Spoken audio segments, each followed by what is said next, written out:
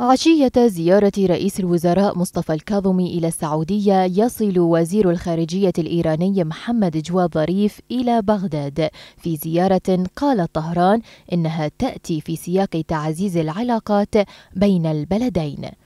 وبعيدا عن التصريحات الرسمية يذهب مراقبون إلى أن توقيت الزيارة الذي يسبق زيارة الكاظمي إلى الرياض ربما يكون مقصودا من جانب طهران المحاصرة والتي تعاني بشدة من ضغط العقوبات الاقتصادية الأمريكية ضدها.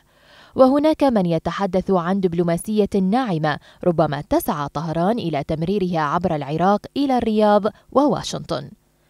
ويشكك متابعون للمشهد العراقي بالنوايا غير المعلنة لزيارة ظريف مشيرين إلى أنها تأتي بهدف الحفاظ على ما تبقى من النفوذ الإيراني في العراق خاصة مع وجود توجه عراقي من قبل حكومة الكاظمي للانفتاح على محيطه العربي وهذا ما لا تريده طهران فهي تريد أن تبقى مسيطرة على الملفات العراقية المهمة التي قد تنقذها من أزمتها الاقتصادية. وبعيدا عن هندسة العلاقات الإقليمية يعول العراقيون على جهود الحكومة الحالية وقدرتها في إنهاء ملف التدخلات الإيرانية التي لم تجلب لهم إلا الخراب.